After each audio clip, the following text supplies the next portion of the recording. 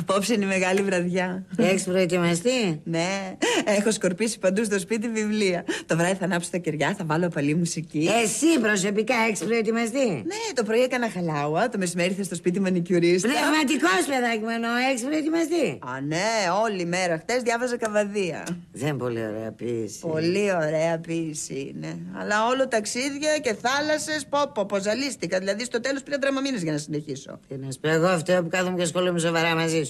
Έχω μάθει και μερικούς στίχους του απ' έξω. Για ποιο λόγο; Έχω σχέδιο. Α, Έτσι όπως θα καθόμαστε, καλή ώρα, δίθεν ανέμελα, θα του πετάξω «Έβραζε το κύμα της γαρμπή». ένα τέτοιο στίχο να του πετάξεις, πεταχτεί και αυτός από το παράθυρο. Γιατί; Πιανή γαρμπή, Μωρή. Του ανέμου του γαρμπή έβραζε το κύμα. Καλέ, πες το και δεν έβγαινε νόημα.